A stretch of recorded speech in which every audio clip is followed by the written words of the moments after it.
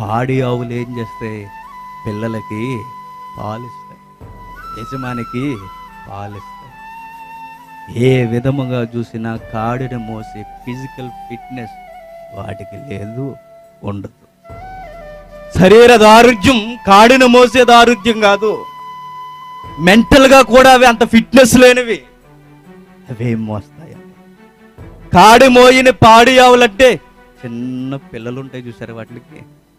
తాడిమోయిన పాడి ఆవుల యొక్క యాటిట్యూడ్ ఎలా ఉంటుందో మీకు తెలుసు.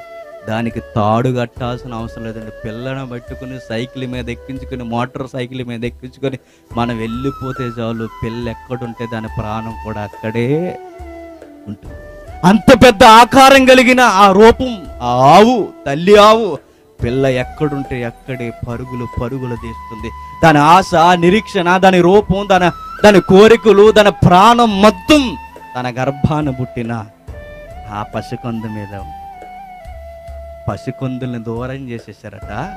తల్లి మీదకి ఏమి ఎత్తారట తాడెత్తారట ఎంత అన్యాయం. వాళ్ళంతా పులిసిపోయి ఉంటుంది. కనిన ఆవుల్ని అప్పుడప్పుడు చూస్తే దానికి జ్వరం కూడా వస్తుంటుంది చూసారా? పశువులు మేపుతున్న వరకు బాగా తెలుస్తుంది.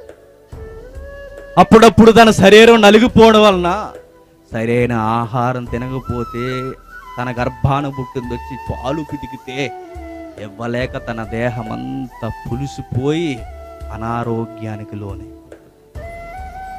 అలాంటి టైంలో భుజాల మీద ఏం పడుతుందో తెలుసా? ఏహో మందస భారం పడుతుంది. బాగా విను. జాగ్రత్తగా విను. దేవుడు ఈరోజు నిన్ను నన్ను అడుగుతున్నాడు.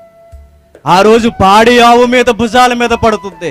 పాడి ఆవు మధ్యకు వచ్చి ఆ రోజు గాడిదకి స్వరం వచ్చినట్టు దీనికి స్వరం ఇస్తే దేవుడు ఏంటయ్యా నేను చేయగలనా ఇది? నా దేహం ఏంటి? నేను చేసే పని ఏంటి? నేను మొయ్యగలనా దీన్ని? నా పిల్లలు నా గర్భాన పుట్టినవి అలా ఏడుస్తుంటే అవి కేర కేరం అనే కేకలు వేస్తుంటే వాటిని వదిలేసి నేను ఎక్కడికి వెళ్ళిపోను నేను మొయ్యగలనా? నా వల్ల వద్దా? ఫిజికల్గా నేను ఫిట్నెస్లో ఉన్నానా? మెంటల్గా ఫిట్నెస్లో ఉన్నానా? నా మీదకి ఇది ఎత్తనం ఏంటండి? అని అడగగలవా? అడగలేవా? ఒకవేళ అడిగితే తప్పుందా? అన్ని నిజాలే కదా చెబుతున్నాయి. అన్ని నిజాలే కదా మాట్లాడుతున్నాయి. అయినా దేవుడు సైలెంట్గా చూస్తున్నాడండి బాయ్. ఎందుకు?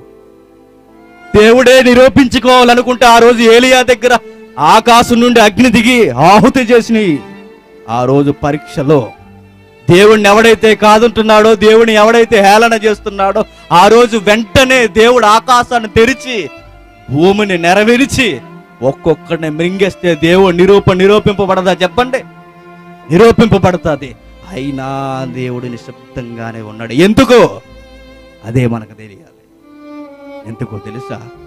దేవుడు ఆవుల ద్వారానే నిరూపణ చేసుకోవాలనుకుంటాడు అదండి దేవుడు.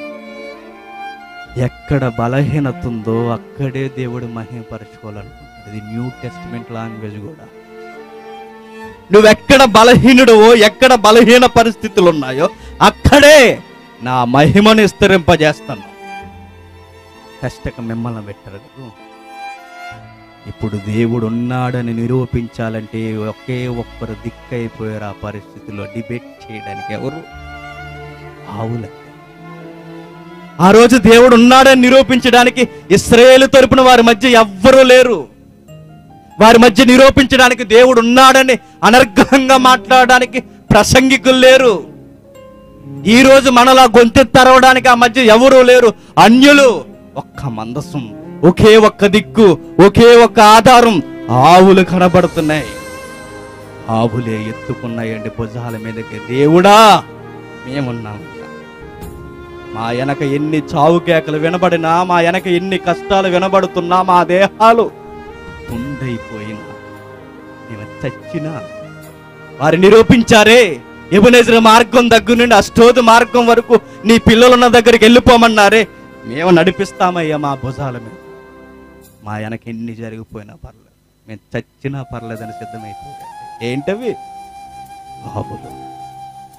ఆవులకున్న ఇంకిత జ్ఞానం ఎవరికి లేదు చెప్పండి? మనకు లేదు. ఆ రోజు ఆవులు నిరూపించండి దేవుడు.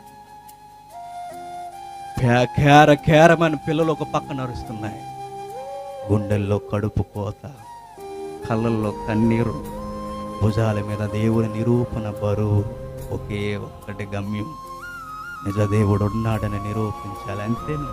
డిసైడ్ అయిపోయాడు ఒకవేళ మోసుకుని వెళుతున్నప్పుడు ఏ పొరపాటున నీరసంలో ఉండి పాలు ఇచ్చినవి ఎక్కడైనా ఒకసారి నీరసించిపోయి పడిపోతే బెదిరిపోయి అటు ఇటుపోతే ఒకవేళ మార్గం మరిసి ఈ మార్గాన్ని వెనకకు తిరిగి పిల్లల దగ్గరికి పోతే ఏమావులండి చెడ్డ ఆవులు అంటారా?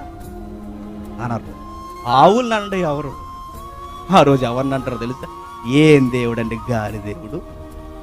దేవుడు అన్నవాడే ఉంటే ఏ ఆవుల్ని నడిపించలేడా? దేవుడన్నవాడు ఉంటే ఆ గోవులకి యజమానుడు కాదా? ఆ జీవులకి యజమానుడు కాదా? ఏ ఆయన నడిపించలేడా? వాటికి తెలియదా ఎన్నో ప్రశ్నలు వేసేదిరండి. దేవుని మహిమను నిలబెట్టాలనుకుని ఒకే ఒక కంకణం కట్టుకున్నాయి.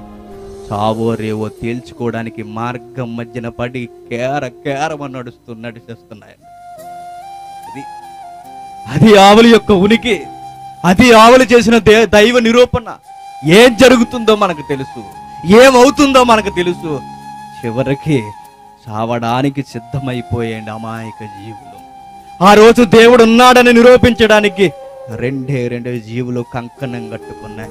వెనక ఎన్ని వినబడుతున్నా మాకు అనవసరం. దేవుడు ఉన్నాడని నిరూపింపబడాలి